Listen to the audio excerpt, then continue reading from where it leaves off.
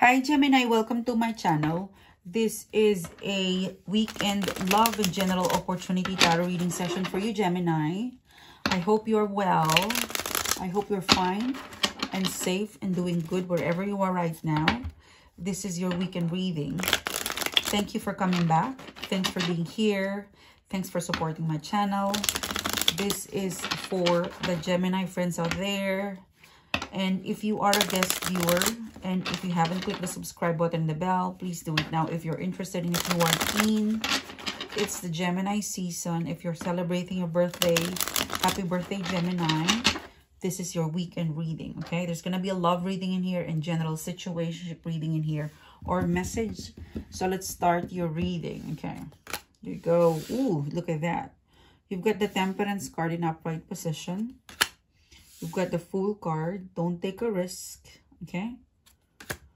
um for some of you you've got this relationship you've got this romantic connection um do not be patient okay be patient um don't don't uh, provoke a breakup if you don't mean okay you're being advised um because i don't think you want to end it or you want i don't think you want to end the situation.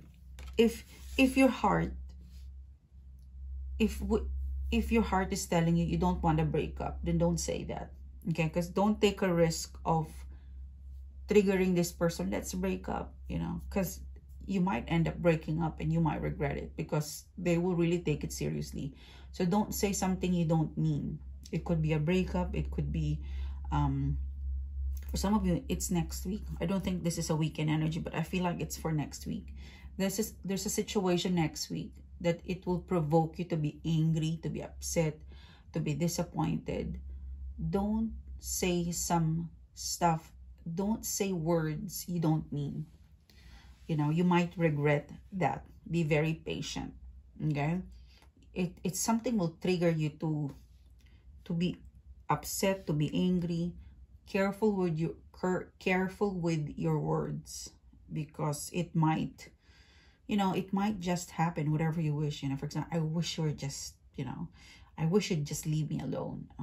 Or you, you said, oh, let's break up. Or, you know, I want, you know, I want to, you know, I want to resign now. And then you'll be surprised your manager is telling you, go and submit the resignation or we'll accept your resignation. You know, something that you would regret. Don't say that. It's a next week energy, okay? Eight of Swords. Two of Pentacles, Knight of Pentacles. You've got to offer. Okay, what's the to offer? Could be coming from Scorpio, Gemini, Libra, Aquarius, Capricorn, Taurus, Virgo.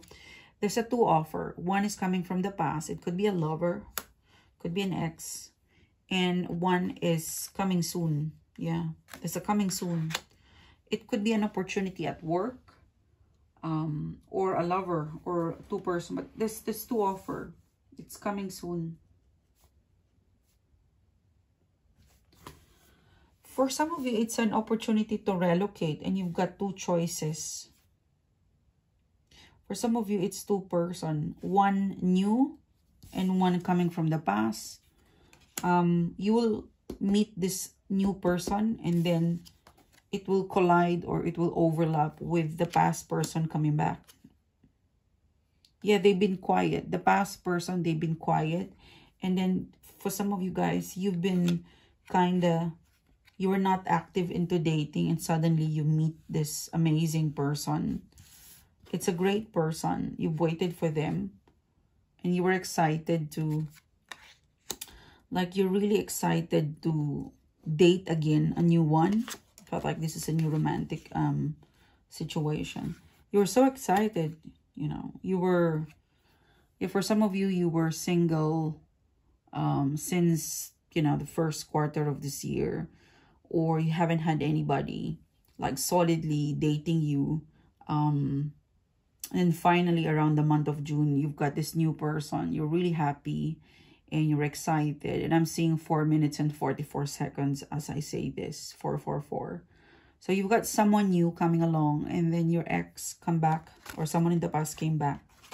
And it's messing on your mind, like which one to choose. You know. You've got, when it, when it rains, it pours, okay? Next reading is you've got Three of Pentacles. For some of you, this could be, again, um, two choices at work.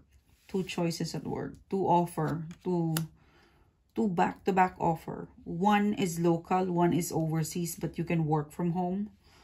One is good pay, but um I don't know, you, you don't seem to be interested. Like, it's really good pay, but it's boring.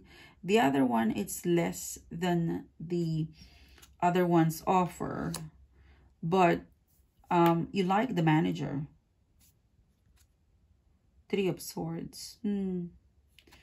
Um, you're torn between, you know, staying your current company or taking in taking this left offer or taking the right offer left and right offer and then you're in the center you know you've got two offer and this is you will i just stay or will i take the left offer or the right offer this right sword so you're kind of torn between staying or going to the left or going to the right. Sun card. What is obvious is that you're not happy with your current job but your current job it is complacent it's good pay it's it's really like a comfort zone to you. It's like home comfort zone. But you're craving from something different. Hmm.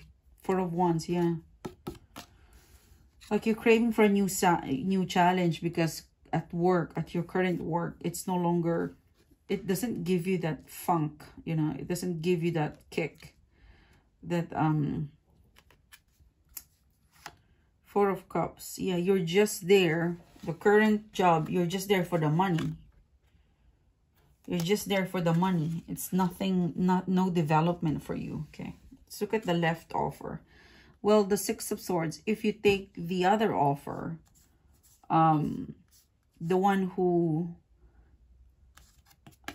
if if you if you for for example for some of you you're if you're bargaining the the one who's keep who keeps on following up that's the that's the um the job offer that follows up the most with you that's the one that you should choose okay that's the one that's most interesting with you. Yeah two of cups look at that. It's the relationship.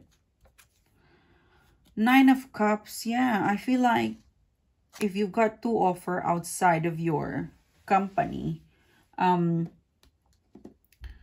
the one the one that you would choose is the one who keeps following up, who is very uh, prepared. Like they follow up, they they finish the contract, like they're they're really upbeat and very excited to have you. You'll feel that. You'll feel welcome towards this offer or person.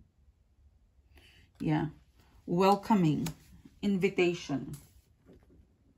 Something is inviting towards the other offer versus the other one. You will feel it, okay, in the comms.